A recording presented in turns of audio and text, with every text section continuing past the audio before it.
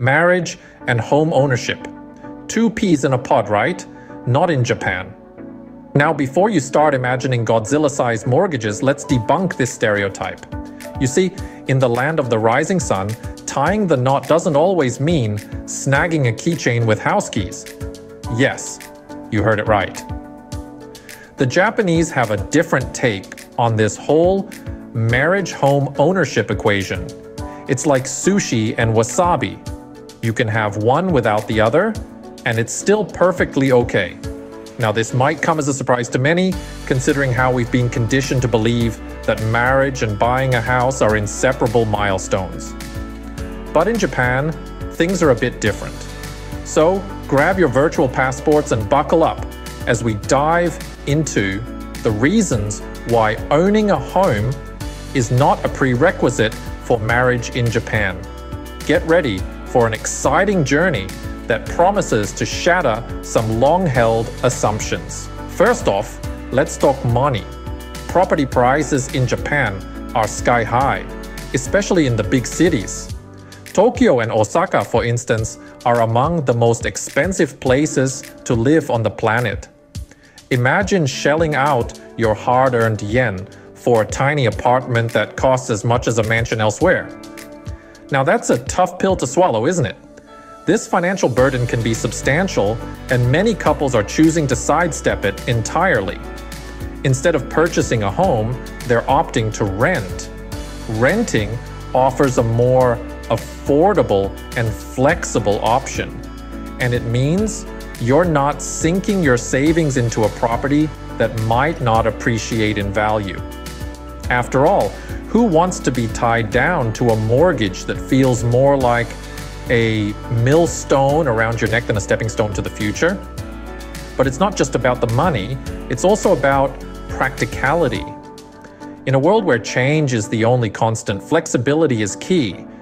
Renting allows you to move for a job, travel, or simply change your surroundings if you feel like it. It's about having the freedom to make choices that suit your lifestyle and your dreams, not feeling boxed in by a hefty home loan. And let's not forget the societal shift. The idea of owning a home before marriage is a relic from a bygone era.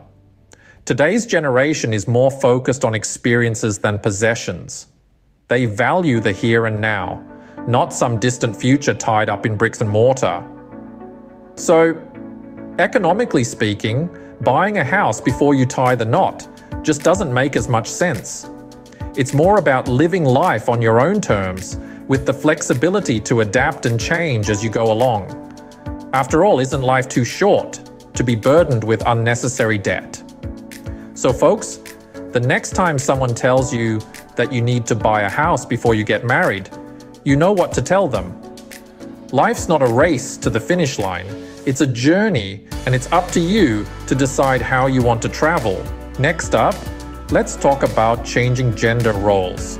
Yes, they're changing everywhere, but especially in Japan. In the past, the traditional Japanese marriage was built around a rigid structure. The man worked, the woman stayed at home, and together they owned a house. But today, that's not a given. As women pursue careers and higher education in increasing numbers, the dynamics of relationships and marriage expectations are shifting.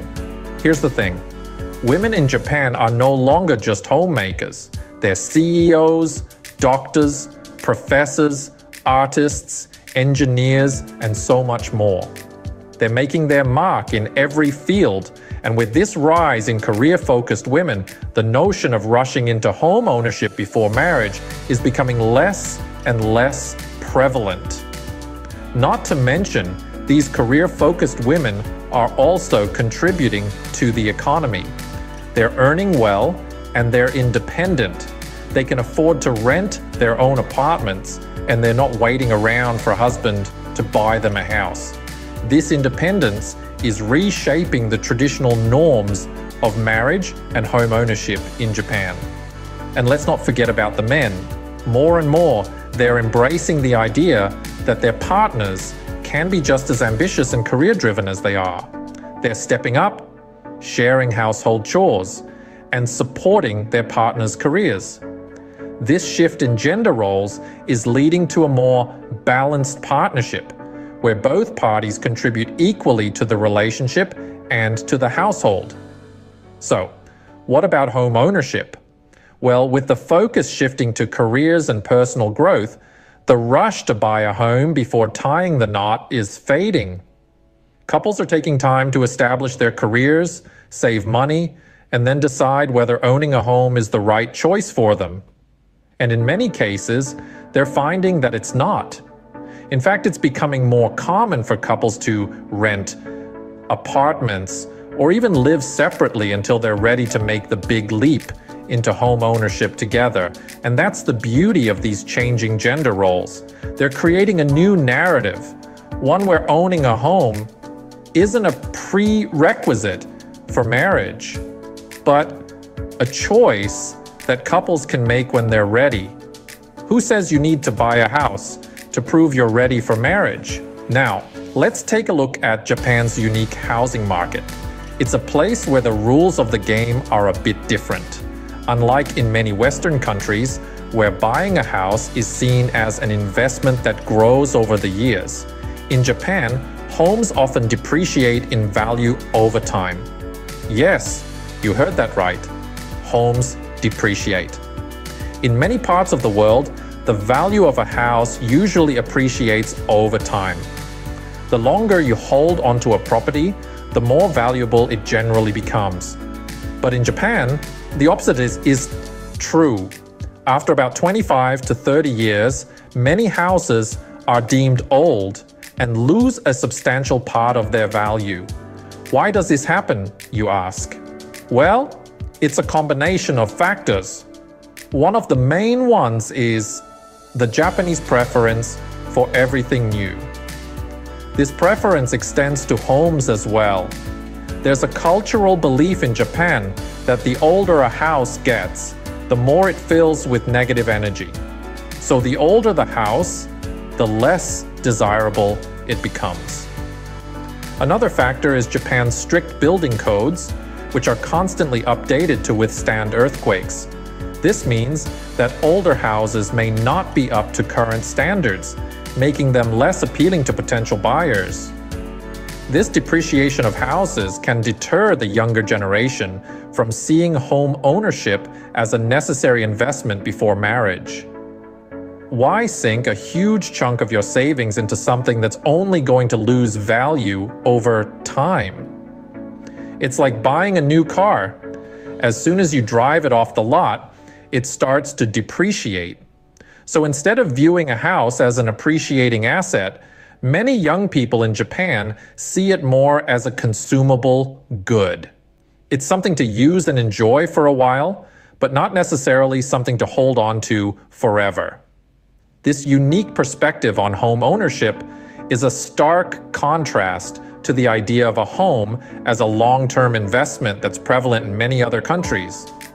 It's another example of how cultural and economic factors can shape our attitudes and expectations around major life milestones. With homes losing value over time, it's no wonder many young people aren't rushing to buy. Let's not forget about the elephant in the room Japan's rapidly aging population and declining birth rate. This demographic shift is causing ripples throughout society and traditional milestones, such as owning a home before tying the knot, are not immune to these changes. You see, in Japan, the proportion of older people is growing at a breakneck pace. This aging population is coupled with a birth rate that has been on a downward trend for decades. It's like a double whammy, and it's causing a significant demographic shift. Now, you might be wondering what does this have to do with buying a house before marriage? Well, the answer is quite a bit. These demographic shifts have led to a cloud of uncertainty that hangs over the younger generation. This uncertainty, in turn, is causing many young Japanese people to reevaluate their priorities. So instead of focusing on traditional milestones like buying a house, young people are choosing to delay or even opt out of such milestones. They're thinking, Why invest in a house now when the future is so uncertain? It's a completely valid question and a clear sign of how societal shifts can impact personal decisions. Moreover, these demographic shifts are also leading to a rethinking of societal norms. The house before marriage rule, which was once seen as a given, is now being questioned. Young Japanese people are increasingly looking at this rule and asking, why should we follow this? This rethinking is not just confined to the younger generation. Even older Japanese people who grew up with the house before marriage rule are beginning to question its relevance. They're seeing their children, grandchildren, and even their peers opting to rent instead of buying a house, and they're starting to understand why. Given these demographic shifts, it's clear that the house before marriage rule is being rethought. The question is no longer when will you buy a house, but do you want to buy a house at all? And this shift, my friends, is a testament to the power of societal change and the resilience of the younger generation. Lastly, let's talk about urban lifestyle and individual preferences. It's no secret that the bright lights and ceaseless energy of city life can be alluring. Many Japanese people, particularly those of the younger generation, are drawn to the conveniences of urban living.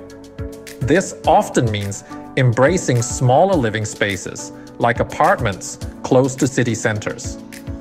And why wouldn't they? Urban life is like a non stop carousel of opportunities.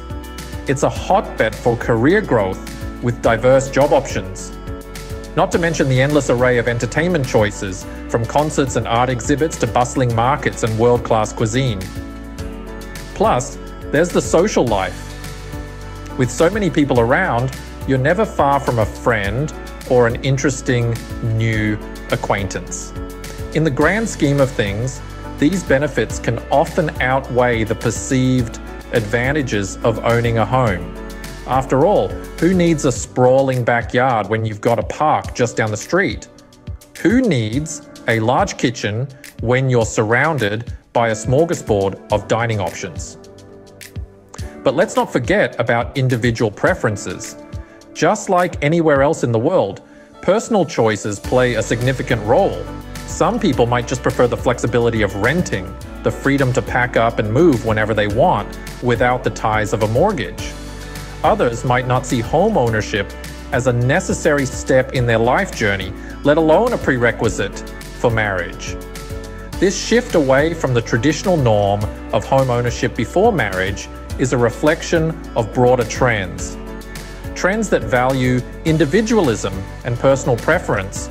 Trends that recognize that there's no one size fits all answer to life's big decisions.